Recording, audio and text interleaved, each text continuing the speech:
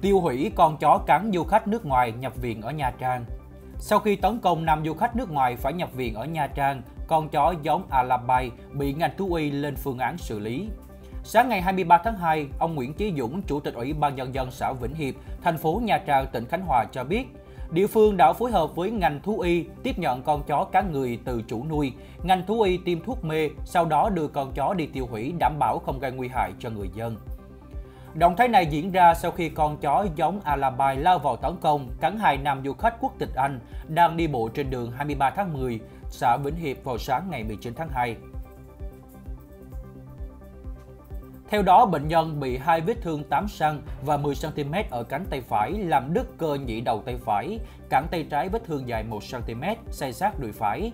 Các bác sĩ đã nhanh chóng tiến hành phẫu thuật, cắt lọc khâu vết thương cho bệnh nhân. Bệnh viện Đa khoa tỉnh Khánh Hòa cho biết bệnh nhân nam này sức khỏe ổn định, đã được tiêm vaccine ngừa dại và có thể xuất viện vài ngày tới rồi trở về nước. Liên quan đến sự việc trên, Công an thành phố Nha Trang lập hồ sơ xem xét yếu tố hình sự. Trường hợp không có yếu tố hình sự, địa phương sẽ xử phạt vi phạm hành chính theo quy định. Chính quyền thành phố Nha Trang dự tính lập lại các đội bắt chó thả rông để bảo vệ người dân và du khách.